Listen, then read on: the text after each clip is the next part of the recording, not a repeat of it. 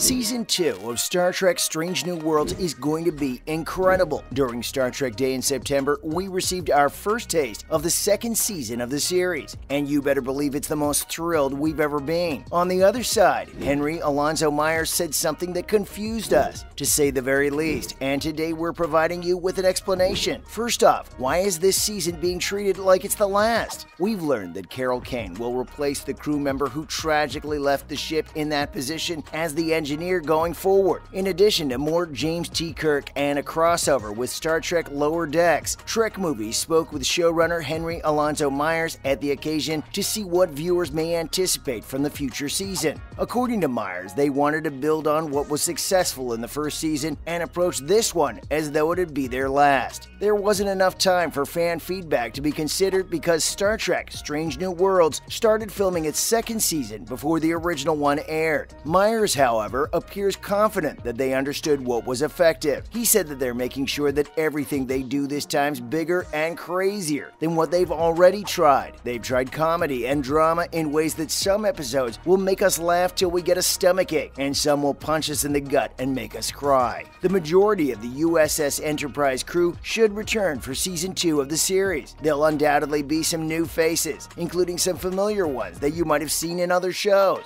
A young James T. Kirk will be played by Paul Wesley. Although a release date hasn't been set, it's anticipated to make its debut in 2023. We can't explain in words how excited we are for the new season. Secondly, we have the benefits of episodic storytelling. The creators of the most recent Trek series are learning to not take their place in the Trek universe for granted. Henry Alonso Myers, the show's creator, made this statement in a recent interview with Trek Movie. He may be acting sensibly by not trying to plan past the second season of the show. It should be noted that Strange New Worlds is presented as a collection of standalone, hour long episodes instead of a collection of lengthy, season long story arcs. The show has been able to capture the true essence of Star Trek, which always worked best as a collection of mini morality plays. This is thanks to the use of traditional episodic storytelling. As a result, this new show is less constrained by long term storyline goals and is better positioned to explore the ideas of the showrunners. The July 7th finale of the first season of Strange New Worlds went smoothly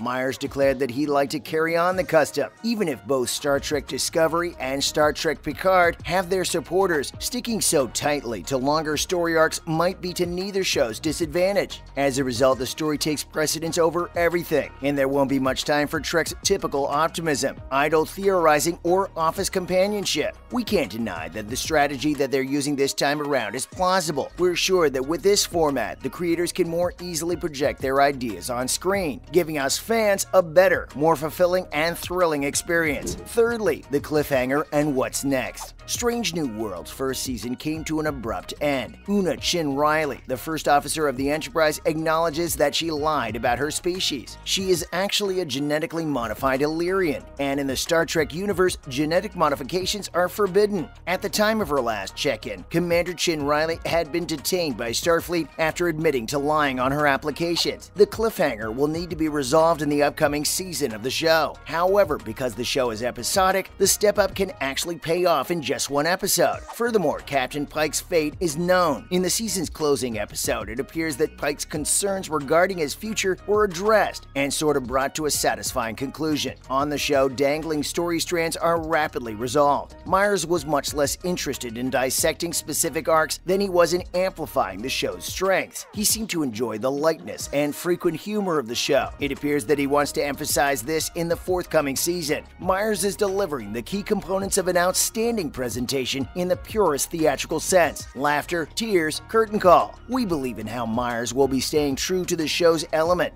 deliver a season that'll blow our minds and make us feel emotions we never thought we'd feel, and move us in ways we'd never imagined. Lastly, what's the future of the characters? Anson Mount revealed in an exclusive interview with Esquire how Pike will change in season 2 now that he has met an older version of himself and has come to terms with his fate. He claims that since the first season's finale, Pike has become more determined. If the body swap episode from season 1 was one of your favorites involving everyone's favorite Vulcan science officer, officer, get ready for more. According to Peck, Spock gets to truly start exploring his human side, which results in lots of hilarious antics. Spock's joyful exploration of his human nature will undoubtedly have an impact on his relationships. We'll continue to see that, and it's unquestionable unquestionably a step in his transformation into the person he is now. In order to be the Spock that Leonard Nimoy plays in the original series, he needs to have a deeper understanding of who he is as a person. A darker aspect of his character, especially his difficult relationship with the Klingons, will be explored in season 2. According to Alusan Mokan, who also affirmed his future with the project, the fate of new members like Erica Ortegas and Khan Noonien Singh is less definite than that of canon guaranteed characters, but both have declared their intention to return. Along with our old favorites, we'll also be getting a few brand new characters who we can't wait to get to know. Moving on to some other related news. Firstly, Star Trek Defiant by Chris Cantwell and Angel Unzueta expands the continuity of the Trek comics.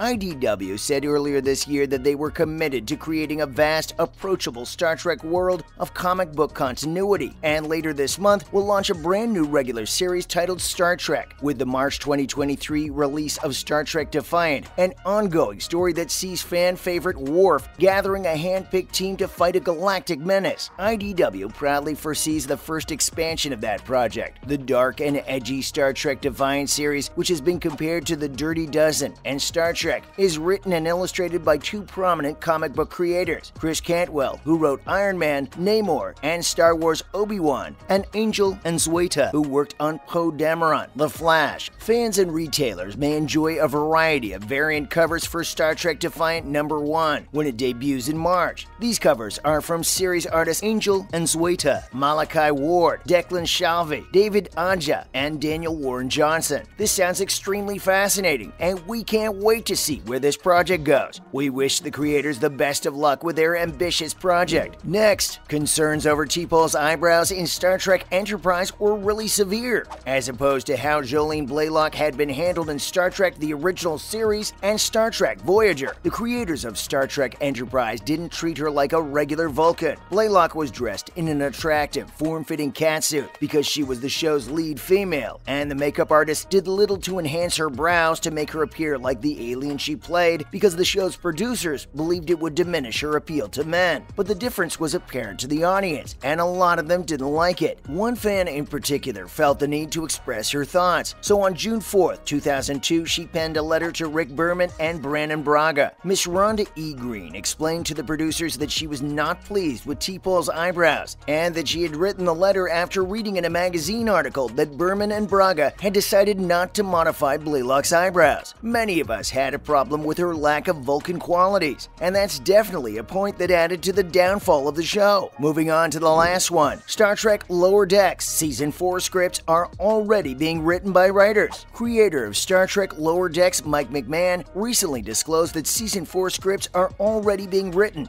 for the adult animated series. The fourth season of Star Trek Lower Deck was a topic of discussion during McMahan's discussion with The Hollywood Reporter. He revealed that even though Season 3's eight episode run hasn't yet ended. Scripts are now being written as part of a larger announcement about the renewal of the platform's extensive lineup of Star Trek related programming. Paramount Plus said in January 2022 that Star Trek Lower Decks Season 4 had been given the go ahead. In 2023, Star Trek Strange New Worlds will also feature characters from Star Trek Lower Decks, making it the first time these characters will be seen in live action. This sounds extremely promising. We hope that they deliver as well. That's a wrap for this video. Are you excited about the upcoming season? Let us know in the comments below. Make sure to give this video a thumbs up and subscribe to our channel for more videos like this. See you in the next one.